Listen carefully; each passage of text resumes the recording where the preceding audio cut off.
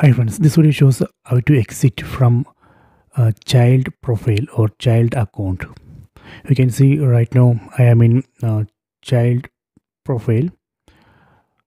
So let me show how to exit and go to parent profile.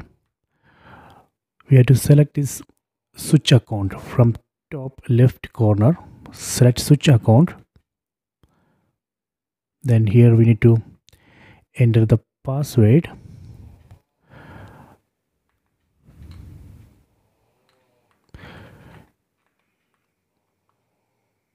okay so now we can see all profiles or accounts.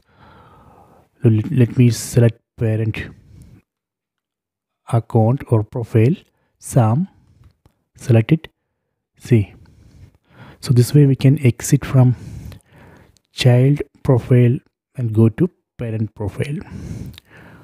Okay so i hope you have enjoyed this video. Please subscribe my channel. Please like and share the video